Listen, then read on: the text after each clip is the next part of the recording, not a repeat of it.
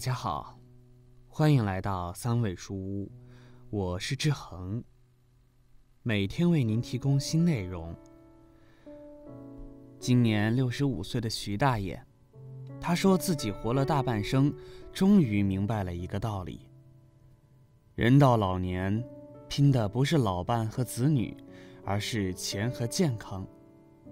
一个人如果想要自己晚年生活幸福，就只有两个选择：要么年轻时好好赚钱，要么就让自己老来有个好身体。那么徐大爷为什么会发出这样的感叹呢？看完他的个人经历，或许你就明白了。六十五岁，徐大爷的自述：我今年六十五岁。老伴六十岁，我们有一个儿子，他虽然已经三十多岁了，却依然没娶到老婆。儿子和我们老两口住在两室一厅的老房子里，显得异常拥挤。虽然我不喜欢和儿子住在一起，因为他总是没给好脸色，但我也没有其他办法。我没钱给儿子买房，就只能和儿子别别扭扭的生活在一起。自从我六十岁退休之后，身体就每况愈下，直至重病缠身，爬不起床。老伴的身体比我好，因为他比我更加懂得养生。他从年轻的时候就开始锻炼身体，一直坚持到现在。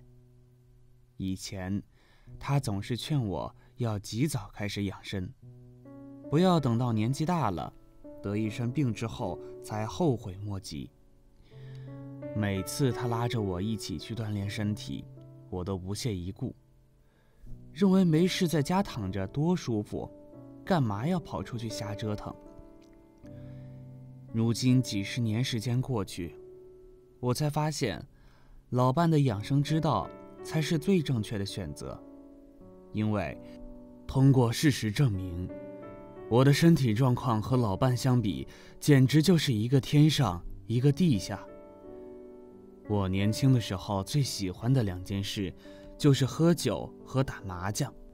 每天下班，我都会和同事相约着打麻将，一直打到深更半夜，在一起去大排档吃烧烤、喝啤酒，吃饱喝足就回家往床上一倒，那小日子过得。别提有多美，老伴总是劝我要少喝酒，不要总是打麻将没够，在麻将桌上一坐就是几个小时不动弹，那样我的身体早晚会落下病。而我却总是把老伴的话当作耳旁风，认为他的那些说辞就是一派胡言。我不过是打打麻将、喝喝酒而已，哪里就能够像他说的那样？那么容易就落下病。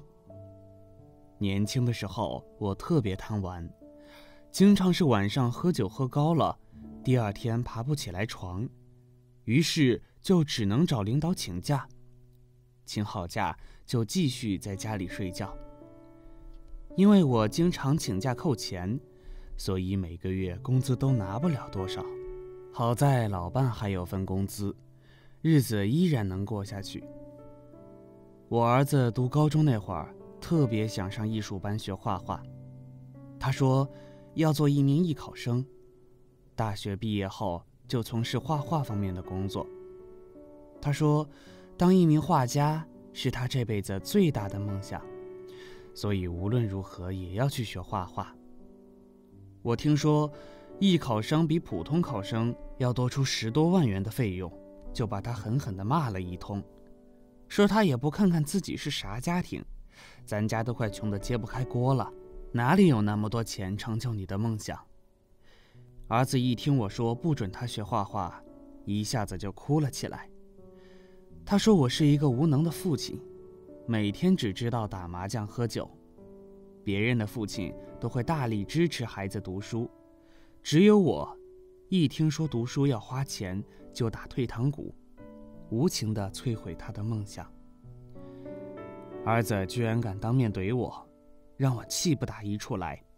我狠狠地扇了他两巴掌，又往他身上招呼了好几个拳脚。我叫嚣着说：“就不给你花钱读书，咋了？你爹我就只有这个能力，每天有你吃有你喝就不错了，你还想咋的？你要是瞧不起我这个爹，就立马给我滚蛋，永远不要再踏进这个家门。”那天晚上，儿子在他的房间里整整哭了一晚。老伴心疼儿子，也陪着儿子一起哭。我嫌老伴闹腾，就把他赶到儿子房里。让他娘俩一起哭，省得吵我瞌睡。儿子最终还是没能读艺术类高中，他读完普通高中之后，就再也没去过学校。他说，从此之后再也不会花我一分钱，他要去找份工作自食其力。儿子不用我养，我求之不得，那样我又可以省下钱来喝酒打麻将。我这辈子最大的爱好就是喝酒打麻将，谁劝我都不好使。老伴知道拗不过我，所以从来都不会管我。他下班吃完饭就出了门，要么是和同事唱歌跳舞，要么就是和一大帮人一起徒步。我觉得，老伴就是折腾的命，有那些功夫陪着我一起打打麻将不好吗？兴许还能多赢些钱回来。老伴说，他待在家里看到我懒散的样子就难受，他只有出了门，和朋友在一起才会快乐开心，才会有个好心情，从而有更好的身体。既然老伴不愿意陪着我打麻将，我也就随他去，反正只要他不干涉我打麻将就行。我将打麻将和喝酒的爱好一直坚持到退休，直到我退休后。身体出了问题。我身体最大的问题是痛风。当病情发作的时候，我疼得在床上直打滚，用痛不欲生来形容一点也不夸张。医生说，我之所以得痛风，和我多年进食高嘌呤食物有关。他让我戒掉烧烤和啤酒，否则我的病情只会越来越严重。一想到……我从此就得和最喜欢的烧烤和啤酒告别，心里就一阵阵难过。但为了身体不再痛苦，我只好戒掉了所有高嘌呤的食物。虽然我戒掉了不好的生活习惯，但却已为时已晚。我的症状依然不断加重，因为痛风的影响，我还得了三高。随着痛风的反复发作。我还患上了痛风性关节炎，关节的功能也受到了影响，导致我行动不便。我每个月吃药都得花费一两千元，这对于我三千多元的退休金来说，绝对是一笔不小的开支。雪上加霜的是，痛风还损害了我的肾脏。医生说，如果损害持续进展，就会导致肾衰竭。需要换肾，换肾最少都得准备个五六十万的治疗费。对于我来说，那可是一笔天文数字。除非卖了房子，我根本筹不来那么多钱。我曾经试探问过老伴，问他我一旦需要换肾，他会不会卖了房子给我治病？老伴淡定地斜瞥了我一眼，说。难道你要让我和儿子露宿街头？听到老伴的回答，我就明白，卖房子给我治病没戏。那么我唯一的指望，就是病情不要再继续发展，否则我就只能是死路一条。儿子虽然已经三十多岁了，但依然没能娶到老婆。他因为这件事情特别怨恨我和老爸。他说我们没本事。没钱给他买婚房，所以就没有女孩愿意嫁给他，他就只能打光棍，一辈子孤独终老。儿子对我们老两口有着极大的怨气，他怨气最深的尤其是我。每次我们一家三口坐在一起吃饭，他都只和我老伴说话，看都不看我一眼，完全把我当成了空气。老伴虽然知道儿子怨恨他。但他比我想得开，他从来不把儿子的怨恨放在心上，依然该吃吃该喝喝，整天都乐乐呵呵的。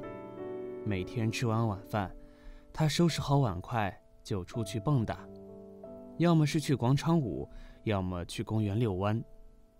我问他为啥整天都这么乐呵？咱又没钱，儿子还不待见，你咋还能开心的起来？老伴说：“不乐呵还能咋的？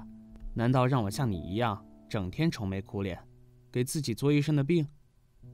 他说：“一个人越是没钱，就越是要有好心情，因为心情好才能有好身体。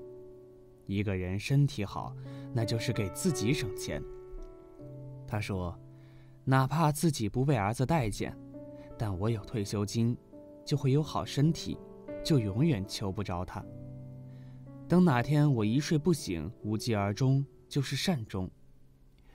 经历了多年之后，我才发现，原来老伴比我聪明的多。我年轻时不懂得挣钱，更不懂得养生。年老的我既没钱，还没个好身体，就只能听天由命。一旦遇到挫折，毫无办法的我，就只能随波逐流，完全由不得自己。